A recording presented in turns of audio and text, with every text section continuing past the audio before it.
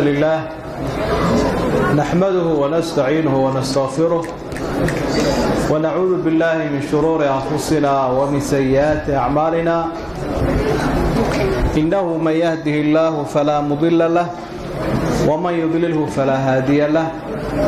وأشهد أن لا إله إلا الله ولي الصالحين وأشهد أن محمدا عبده ورسوله. صلى الله عليه وعلى آله وأصحابه وسلم تسليما. أما بعد إخواني وأخواتي في الله السلام عليكم ورحمة الله وبركاته. هذه آذيات بان غفر أحسن هاي إلى أن قوتهم بركة كيسان فراك الله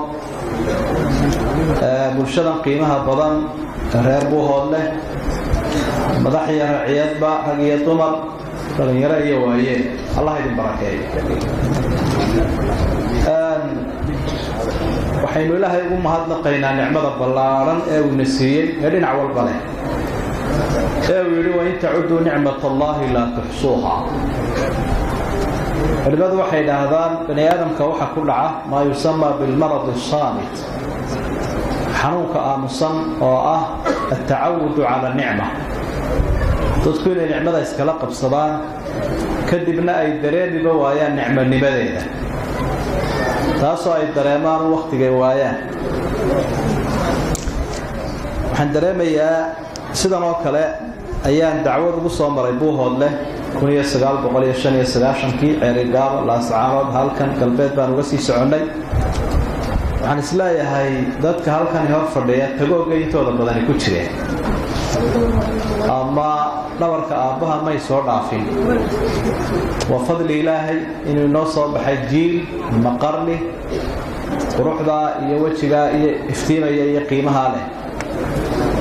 Magaaladii inay noo ballaadhatay oo runtii caasimadaha waaweyn ee waddanka ay ka mid tahay alxamdu lilaah ilaahay fadligiisa nabadgelyadeeduna ay aada u qiimo badan tahay oo ay tahay wax lagu farxo. Qofkii gacala iyo ishii caafimaad qabta ay aada ugu farxayso. Ilaahay baynu baryaynaa inuu nabadgelyada inoo xoojiyo inoo sii wanaajiyo inoo dhammaystiro. Intaa markaan walaalayaal ka soo gudbo kole hareerahayga waxa fadhiya raggii aanu dacwadiiyo diinta ku simaynoo dhallinyaro dakaatiro ah oo cusub oo inoo soo baxay aqoon iyo firfircoonaanba leh. Ilaahayna waxaan ka baryayaa horumarinta khayrka inuu u fududeeyo idinkuna ka faa'idaystaan qaybta hore iyadoo dictoorku iga dambayn doono haddaan xoogaa kooban ka idhaahdo shayga la idhaahdo amniga ama waxaa la idhaha nabadgelyadu. Waa deganaansho dadku ay helaan dhinacyo kala duwan oo aan xagga dambe ka sheegi doono insha allah. Caalamka cid waliba inay deganaansho hesho iyo nabad. Wax la xiiseeyo weeyo aada loo daneeyo laguna farxo laguna horumaro. Sidaa daraaddeed baa sanad walba adduunyadan aynu ku noolahay. Hay'ado iyo ururaa qaabilsan inay dowladaha qoraal ku sameeyaan siday u kala nabadgelyo badan yihiin iyo waddamadu sanadkan dhammaaday waxay soo saareen gaaladu iyagaa inta badan daraasadaha noocaasa ay isu taaga inay wax ka sheeg sheegaan. Dowladaha ugu nabadgelyo badan labaatanka u horreeya waxay ka dhigeen reer yurub marka laga reebo canada singafura jabaan australia iyo malaysia. Intooda kale liiska reer yurub bay ku dareen. Waxaan se xusi lahaa oon uga soo qaatay sida loo kala xoog weyn yahay ama loo kala hub culus yahay ugamay dhigin tartiibta amniga. Dowladu siday u kala awood badan yihiin. Uma kala nabadgelyo badna bay leeyihiin sidaa daraaddeed ayaa waxa ay ka dhigeen dowladda ingiriiska xagga nabadgelyada shan iyo afartan inay kaga jirto derajada faransiiska lixdan dowladda maraykanka ruushkana intaasoo dowladood baa ka horreeya xagga nabadgelyada waxaa laga yaabaa caawa buuhoodle dhul badan oo yurubahoo sii eegaysaan ama maraykan ah inay ka nabadgelyo badan tahay. Waa sida iyagu sheegeen. Marka taa waxaynu ku qaadanaynaa nabadgelyadu sidaad filaysa inaanay ahayn xoolaha iyo xoogga badan inaanay la soconin. Meelaha u dambeeya waa siday u yidhaahdeena waxay ku riixeen afghanistaan ciraaq yeman suuriya koonfurta suudaan iyo soomaaliya ay yidhaahdeen way u dambaysaa. Waa siday u yidhaahdeen. Insha alla waynu u horeynaa waay. Intaa markaan ka soo gudbo wuxuunoo ii geeyey uun. Nabadgelyadu meesha laga eegaya meelaan ahayn bay ku jirtaa. Aynu xagga dambe ka xusi doonno insha allahu iyo awoodda iyo aqoonta iyo adduunka inaanay ahayn baryo dhoweyd waan filayaa qaarkiin inaad la socoteen warbixinaha iyo macluumaadka la sii daynayay markii bahalkan karoonuhu soo baxay. Bakhaarada inagu raashinka aynu kuyuga u gallay si aynu maadaama laga yaabo inuu raashinku qaaliyoobayo maraykanka waxaan arkayay gobollo ka mida iyadoo kuyuu loo galay bakhaarada hubka.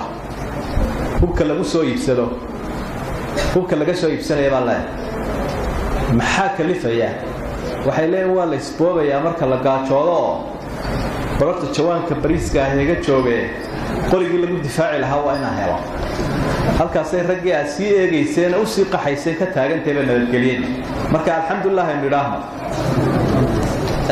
intaa markaan ka soo gudbo qodobkaa koobaad sida xiisaha iyo dhadhanka loogu hayo adduunkan aynu ku noolahay nabadgelyada waxaan u gudbi lahaa arrinta labaad oo muqawamaat lamni nabadgelyadu waxay leedahay arkaan ama tiiraray ku taagan tahay oo wax waloo la dhisayaaba sida gurigan oo kale tiirar buu ku taagan yahay.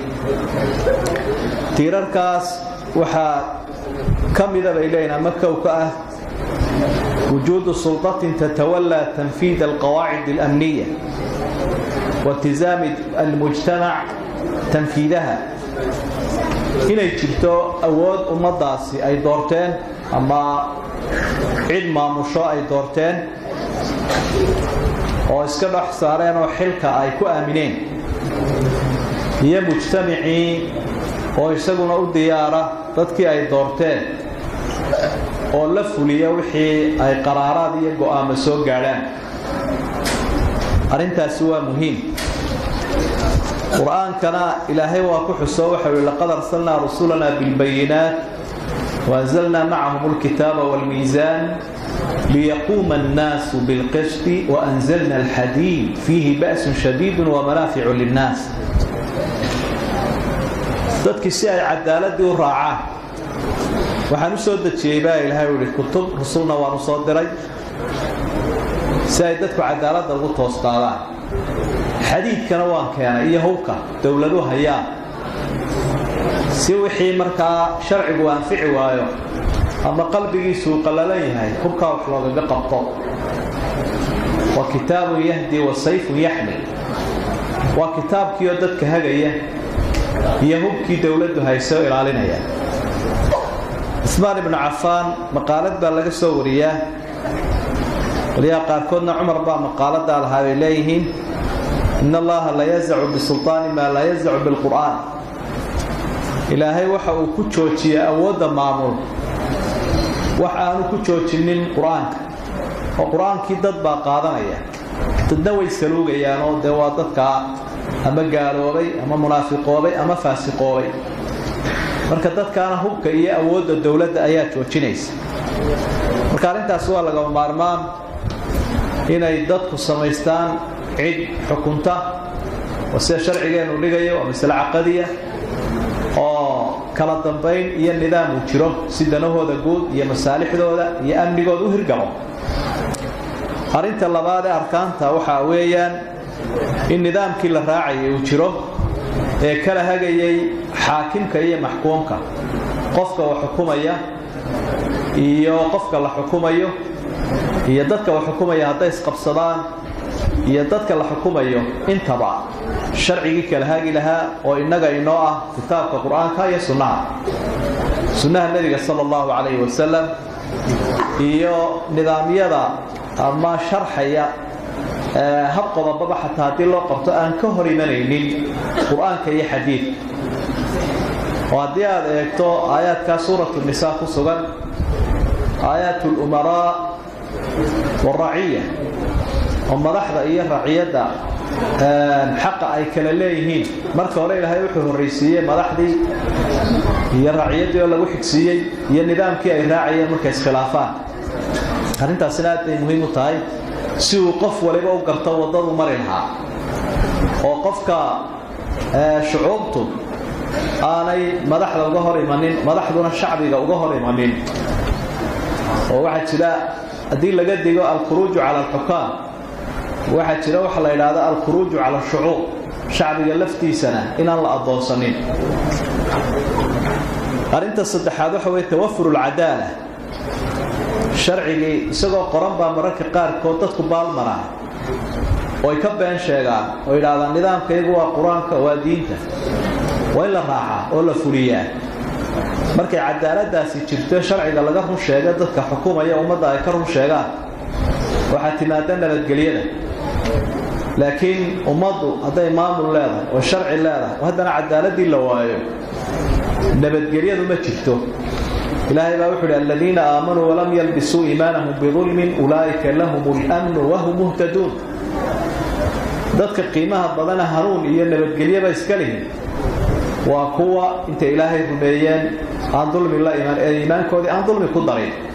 Hadday gaalnimadii tahay iyo haddii ay tahay xadgudubkii ummadda iyo dadka la xukumaya lagu xadgudbayay marka cadaaladdu marka ay jirto amnigu wuu jirayaa haddii kaloo cadaalad la waayo waxaa dhaca dadka qaarkood ciil bay qabayaan way iskaga samrayaan dulmiga haddana way iskaga samrayaan haddana way iskaga samrayaan. Saddex jeer markay dhaafto soomaalidu saddexda ashahaado yidhaahdaan wixii intaa ku sii xigaa waa qarax inay dadku qarxaan oo qofku uu naco dadkiisa iyo dunyadiisa iyo dalkiisaa idan markaa qadiyadda cadaaladuna aad bay muhiim u tahay. Arrinta afraad ee arkaanta ama tiirarka nabadgelyadu waxa weeyaan wujuudu taraabud ijtimaaci. Bulshadu inay isku xidhan tahay.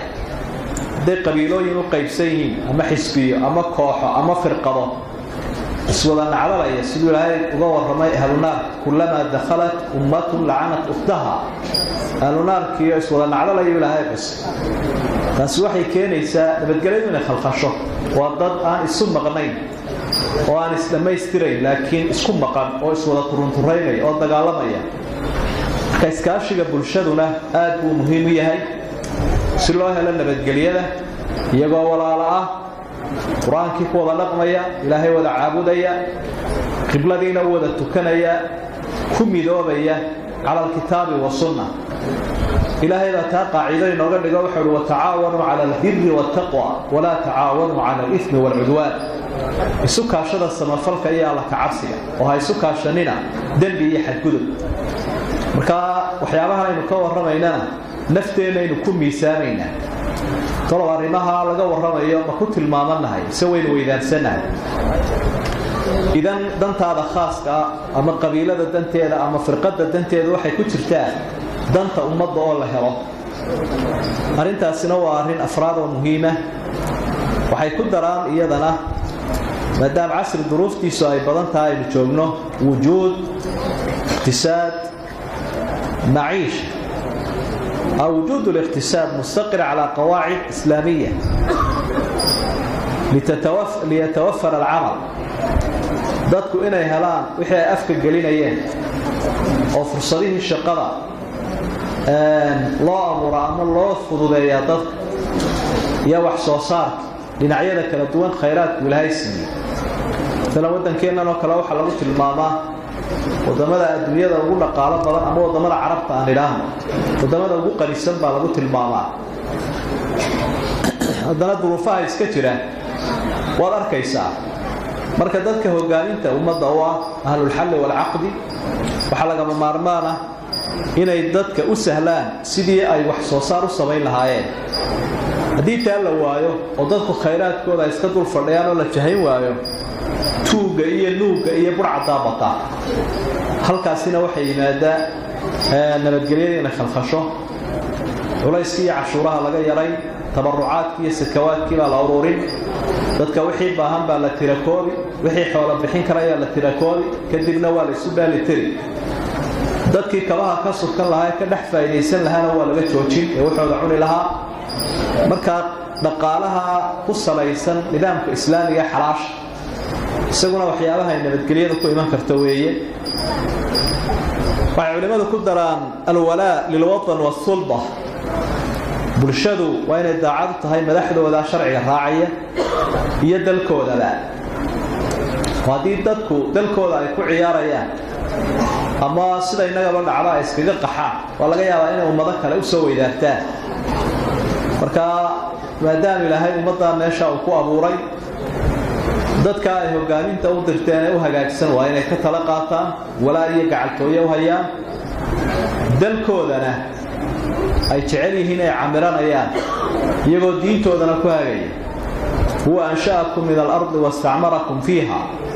Ilaahay baa wuxuu leeyahay rabbi dhulka ayuu idinka abuuray iyadun baanu idinku camiray. Wuu inoogu manno sheeganaya waxyaabuu ilaahayna siiyabay ka mid tahay diintaa macaane wanaagsan iyo dalkaa fiican iyo dadka muslimiinta ah marka iyadana arrintaasina aad bay muhiim u tahay. Intaa markaynu ka soo gudubno innagoo kollay soo yar koobkoobayna waxaynu yar xusi lahayn majaalaat ulamn meelahay nabadgelyadu gasho laga yaabo dadka qaarkood inaanay ka filaynin oona islahayn malaha halkaa amni laga dayaaba. Amniga u horeeyaa waxa weeye alamnu nafs qofka inay naftiisu nabadgelyo hesho oo uu xasiloon yahay oo aanu sida xoolaha qof didsan oo firdhanaya oo warwaraya oo cabsanaya ahayn. Haddii taa la waayana ma dejin karaan qofka dowladda iyo xoolihiisa iyo cilmigiisa midnaba. Taasina waa ta keenta maanta gaalada waxyaabaha ay isu dilaan waxaa ka mid ah amniga nafsigaabay waayaan deganaanshaha nafta oo diinta lagu helo waa ka ilaahay xusay markuu yidhi aladiina aamanuu watadma'inu quluubuhum bidikri illaah alaa bidikri illaahi tadma'inu lquluub waa naftiyo degan oo xasiloon bacdu nnaasi yastawxish wa bacduhum yasta'nis.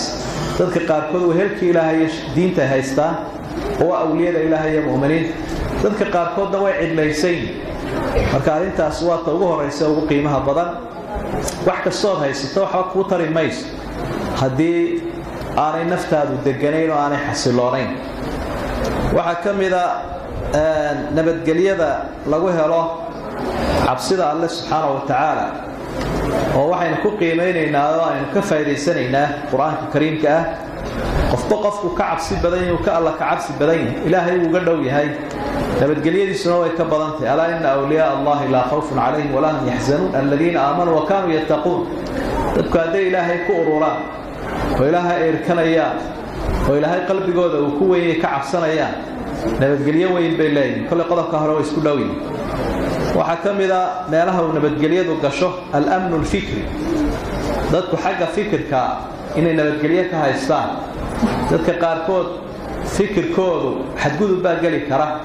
Waxaa laga yaabaa qofku inuu diin ka dhigan karo waxaan diin ahayn dabeetana xadgudubku ku badan karo dadka qaarkoodna waxaa laga yaabaa inay diinta ka leexdaan oo afkaarta shisheeyaha ay qaataan oo qaarkood aynu arkaynaba iyagoo magacaaga leh oo isku abtirsiima tihiin in fikirkiisii uu qalloocdo mulxidba uu noqday.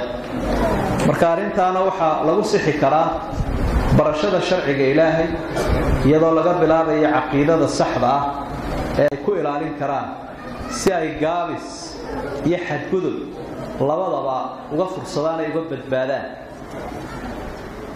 Waxyaabaha meelaha ay nabadgelyadu geli karto waxaa ka mid a almnu alghidaa'i waasixi waa meela in laga yaabo dadka qaarkood inaanay ka fikirinba nabadgelyada xagga cunnada iyo caafimaadka.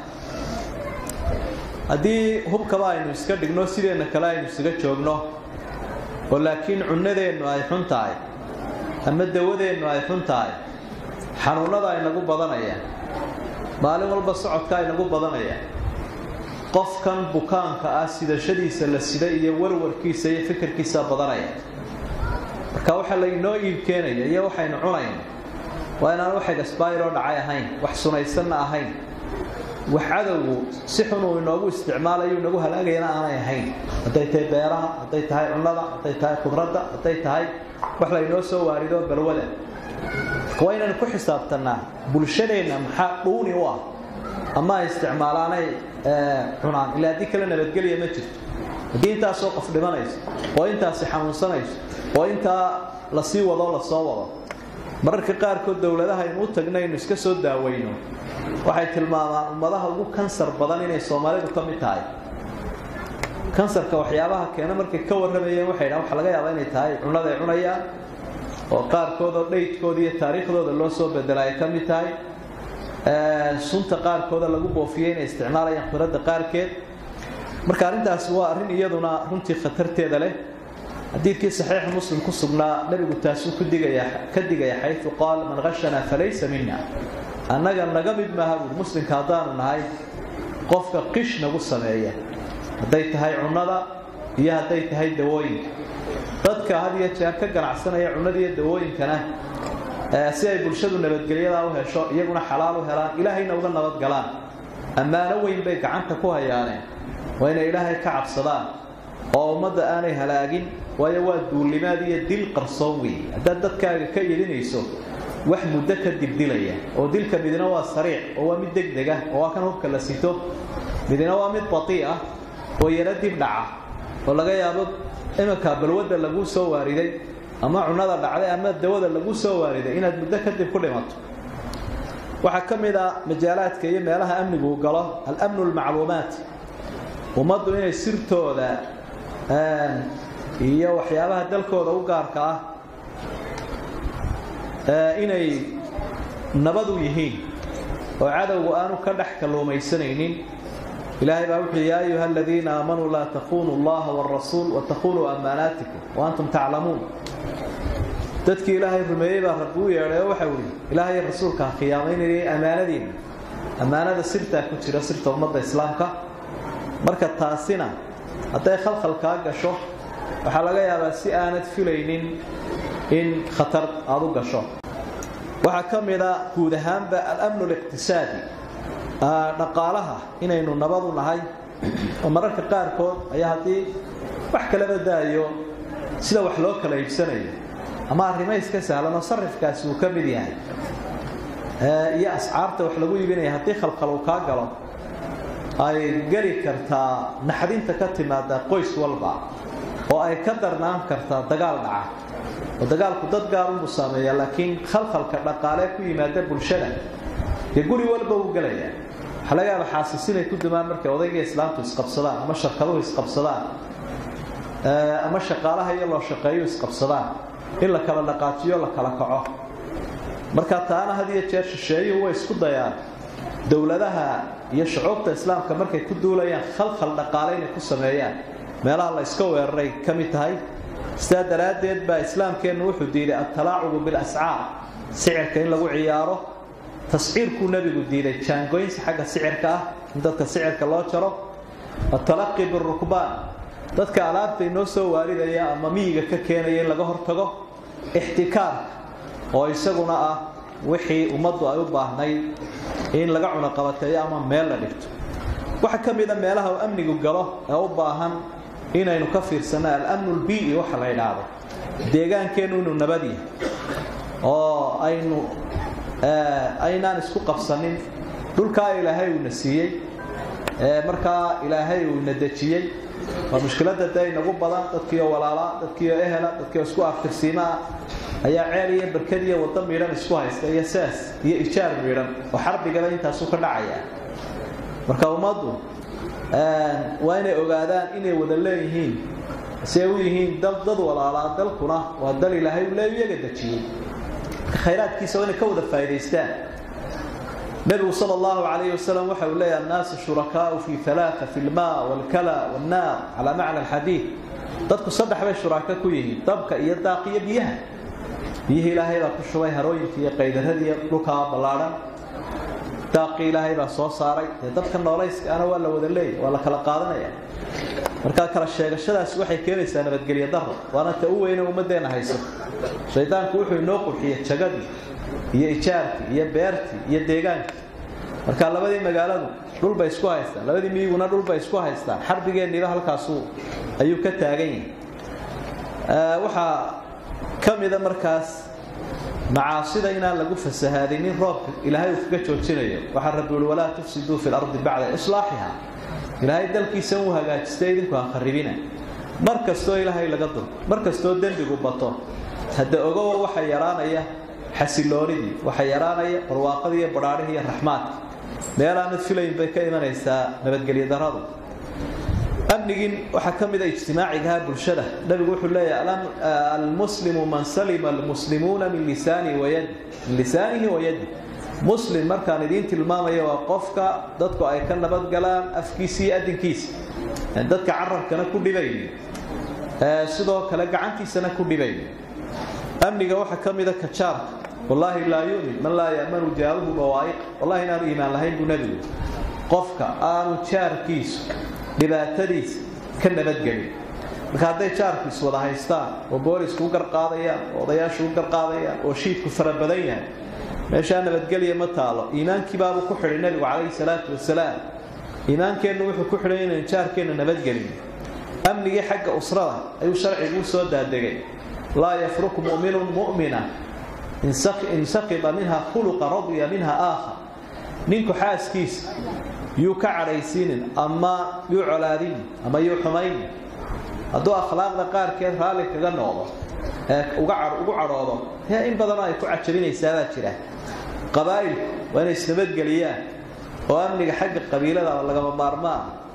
Suurat lxujuraat waa suurat laadaabi walakhlaaq la ydhaah qur'aanku wuxuu aada uga warramayaa dadku inaanay isxumayn oo aanay istacaynin magac xun isu bixinin aanay isxaqirin. Yaa ayuha aladiina aamanuu laa yaskar qowmun min qowmin casaa an yakunuu khayran minhum walaa nisaaun min nisaain casaa an yakunna khayran minhun aayaadkaasoo dhan waxay ka warramayaan haddii dadku isxaqirayo oo laandheere iyo laangaal iyo aji iyo sab iyo gun iyo gob waxaa la wada akhriyaya faraha badan. Dee dadkaa cogdada iyo naxli ka bixi mayso waxaa laga yaabaa kii dhibkan lagu hayay ka kale markuu jaanis helo inuu boqonta jaro. Idan arrimahaasina waa laga maarmaan. Amnigii siyaasadda iyo maamulka ayaa ka mida amnigii nafta iyo waxaa ka mida cirdiga sharafta. Waxaasoo dhan walaalayaal waxay ku iman karaan in walaaltinimada la xaqiijiyo. Walaaltinimada oo la xaqiijiyo. Aada ogaato horta yaa shisheeya yaa sokeeya.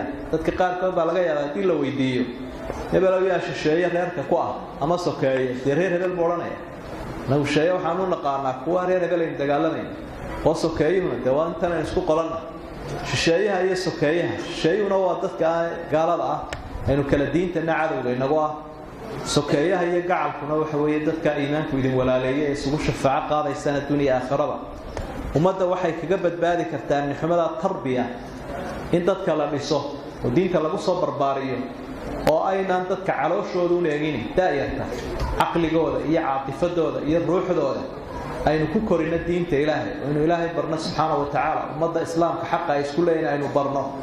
Waxyaabaha aynu ka soo warramayno dhan markaa maalgelin weyn bay u baahantahy jiilka ama qarnigayna dhexlaya inaynu maalgelinno dhinacyada aynu ka dhisno ilaahay wuxuu ugu manno sheegtay ummaddan inuu nebi maxamed tarbiyeeye oo uu soo dhisay. Huwa aladii bacata fi lumiyiina rasuula minhum yatluu calayhim aayaati wayuzakiihim wayucallimuhum alkitaaba walxikma wain kaanuu min qablu lafii dalaalin mubiin. Ilaahay baa ummaddan deeq siiyey markuu u soo diray rasuul. Iyaga ka mid a oo ku dul akhriyaya aayadihii ilaahay oo baraya aayaadka macnahooda waxaa ku jira eraya wayuzakiihim culimada waxay ku fasiraan taskiyadu waa wax dheeraadka ah tacliinta iyo tilaawada. Sidaa daraaddeed waa tarbiya.